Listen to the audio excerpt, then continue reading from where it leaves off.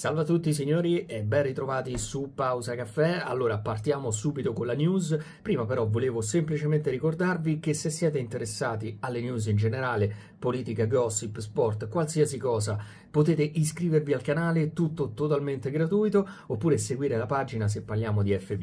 Mi raccomando, ma passiamo subito alla notizia di oggi. Volevano allontanare le voci che li danno sull'orlo del divorzio, far vedere al mondo intero quanto sono innamorati. E invece il video che Harry e Meghan Markle hanno deciso di condividere pubblicamente dalla loro casa di Montecito, in California, non ha fatto altro che alimentare i dubbi sulla loro unione felice. Il duca e la duchessa di Sussex hanno fatto la loro prima apparizione pubblica insieme dopo mesi, sperando di mettere a tacere le crescenti speculazioni sullo stato del loro matrimonio. Ma la sintonia che mostravano anni fa sembra essere finita. I Sussex hanno pubblicato un video insieme per sostenere il Responsible Technology Youth Power Fund RTYPF che si occupa di sviluppare tecnologie etiche coinvolgendo i più giovani.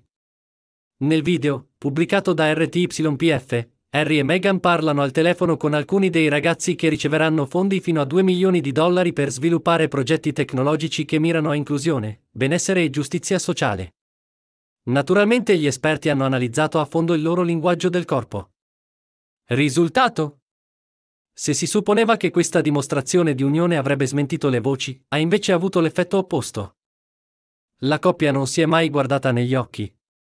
O meglio, Harry ci ha provato un paio di volte, ma Meghan ha tenuto gli occhi bassi senza mai ricambiare il suo sguardo, nemmeno una volta. Alcuni potrebbero pensare che erano concentrati su quello che stavano facendo. Non c'era spazio per smancerie, dato il contesto professionale e la serietà di alcuni argomenti toccati. Ma stiamo parlando di Harry e Meghan. Fin dal primo giorno, ogni loro apparizione pubblica è stata caratterizzata da uno spettacolo glutinoso di palese affetto. Si sono tenuti per mano, accarezzati, confortati.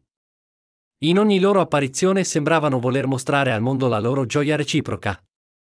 E sia nell'intervista di Oprah che sul balcone di un palazzo, il loro contatto visivo è sempre stato invariabilmente intenso.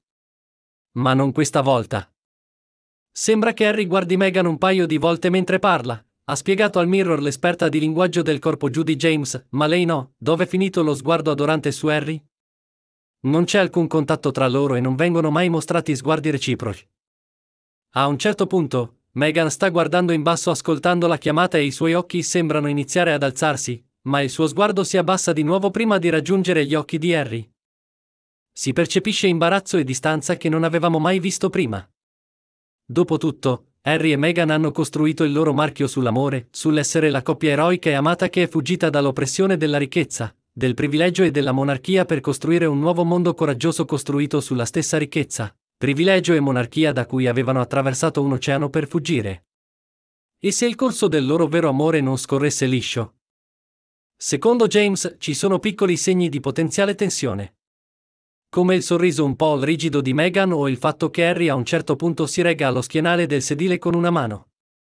Eppure nulla esclude che i due si siano scambiati occhiate e gesti affettuosi, poi tagliati in fase di montaggio. Forse, dopo tutto, la loro crisi potrebbe essere solo l'ennesima invenzione dei tabloid.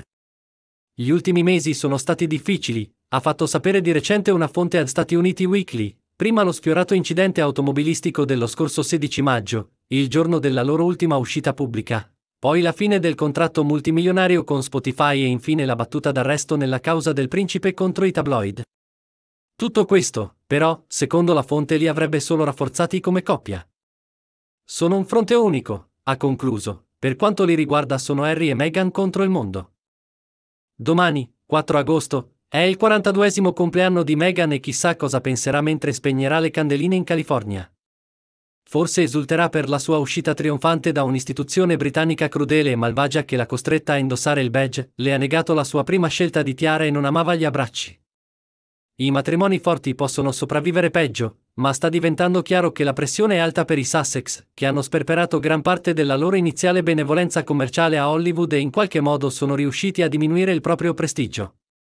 Cari amici, per questo video è tutto, vi ringrazio per la visione, mi raccomando lasciate il vostro segno qui sotto, un bel like e se non siete iscritti iscrivetevi al canale oppure seguite la pagina, oh, è tutto gratis. Vi ricordo che in questa pagina si parlerà di gossip tv, spettacolo, politica, sport, curiosità e tanto altro. Detto questo vi saluto, mi raccomando vi aspetto al prossimo video, ciao, un saluto da Max.